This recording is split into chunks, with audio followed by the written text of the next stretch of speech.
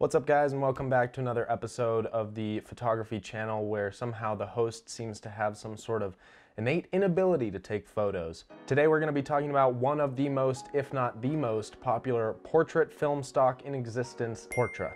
Specifically my first time shooting Portra 160 last week. So sit back, grab a drink, and get ready to be underwhelmed. Let's get started.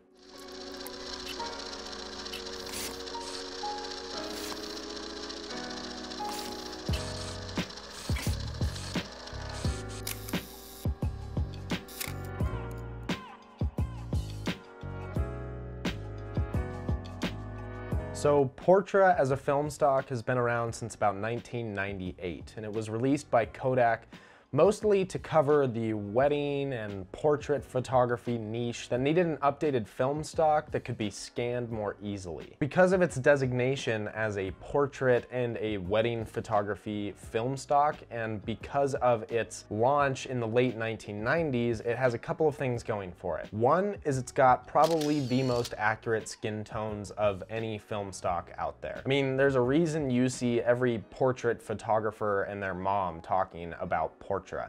Portra is beautiful for portraits. It's got the skin tones absolutely nailed down flat. It's warm, but it's not too warm.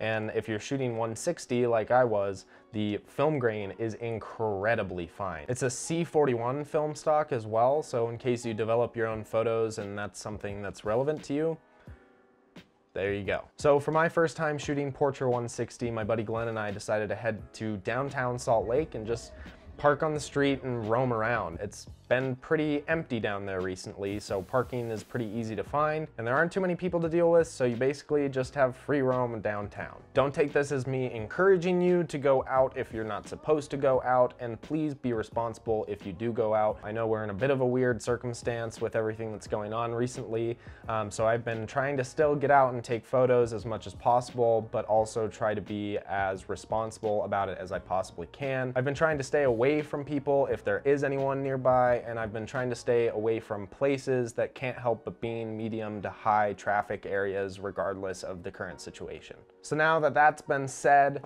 uh, it was a beautiful and sunny day outside. Clouds were few and far between. So as soon as we got downtown and we started looking around, I was seeing potential for shots left and right. With this Portra 160, these are exactly the conditions you're looking for. This particular film stock, especially Portra 160, more than Portra 400 or Portra 800, is made more or less for studio lighting.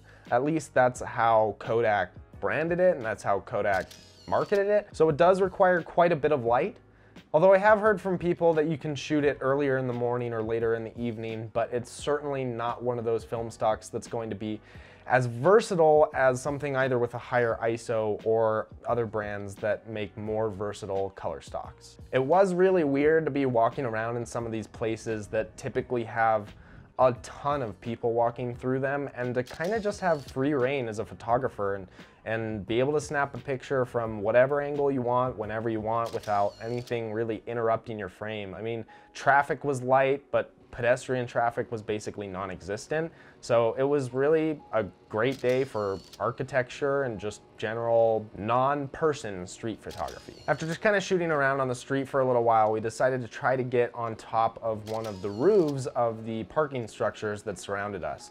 We happened to be close to a mall. The mall was closed. The parking structures were pretty empty, so we figured we'd try to get inside of one, sneak in there, and find a way up to the top to get some more shots up there. We failed.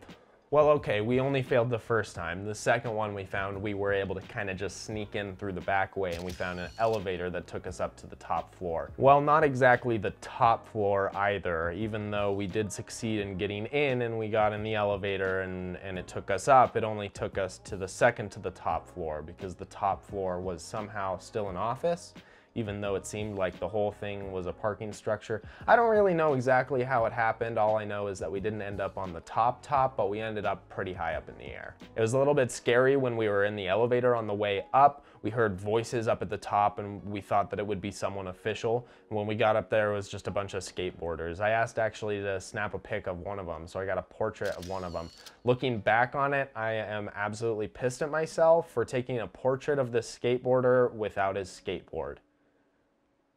In some of these photos where I was shooting into some pretty serious shadows, or I was shooting in shadows, into sun, uh, I definitely started to notice what people are talking about when they say that this is not a very contrasty film stock, uh, which played really to my advantage in these circumstances where I wouldn't have been able to get a lot of the detail that I got out of these photos if I was using something like an Ektar 100 that has a lot more contrast. This particular film stock really just kind of evened everything out, brought those shadows up and gave me a lot more detail to work with.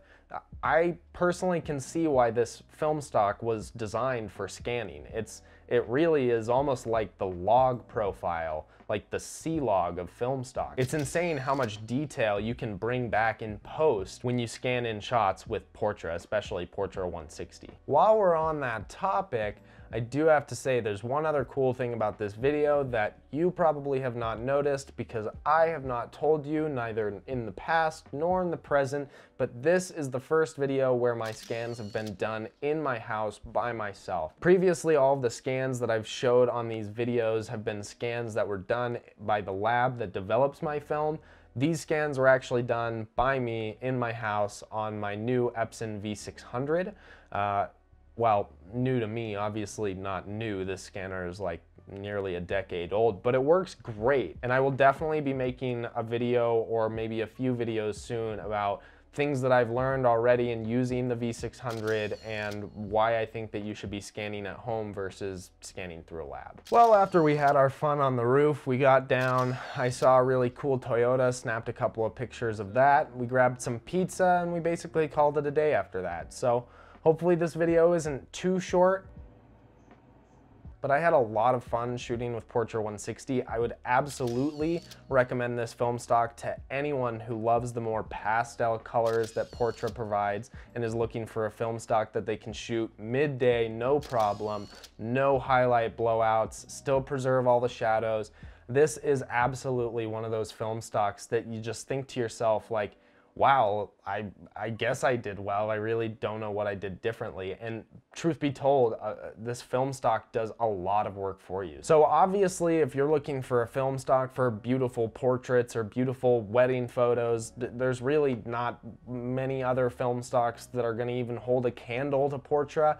But even if you're just looking for that kind of more muted pastel look with colors that are gorgeous and deep and rich, but they're not overwhelming. They're not ridiculously blown out and overly contrasty, then Portra is absolutely the film stock for you. I've seen a ton of digital photographers who are editing their photos to look very similar to this film stock. There is definitely a market of people out there. There is definitely a sect of people out there who love this look, regardless of whether it's coming out of a digital camera or it's coming out of a film camera. And if you haven't shot on it yet, I absolutely recommend you do. It's one of my favorite film stocks that I have ever shot. I really enjoyed shooting this Portra 160 for the first time. Portra 400 is just about my go-to for almost every circumstance. Portra 800, again, another ridiculously amazing film stock. And the grain, even on the 800, is not absurdly noticeable. So yeah, I mean, really, I guess I just can't recommend it enough. If you haven't shot on Portra, you gotta try it. You gotta try it at least once. Maybe you'll be right back to Ektar. Maybe you'll be right back to Ektachrome. Who shoots Ektachrome regularly but hasn't ever shot Portra? That would be kind of weird. I guess it's possible. I'm sure there's people out there that have done that. I'm not, no judgment here. This is a no judgment channel, which by the way, if you like this video, you should like it. You should subscribe for more content. New videos are coming out every other day. Remember, every other day. Uh, I'm hoping that this video is going to be on schedule and that the next video is going to be on schedule as well. I'm planning a trip that I'm leaving for tomorrow. I'm shooting this A-roll right now and I'm editing this together on Saturday night so that I can schedule it to be posted on Monday so that we stay on schedule and so that when I get back on Tuesday from my trip, I can edit together another video on Tuesday night and have a fresh upload for you on Wednesday at 2 p.m.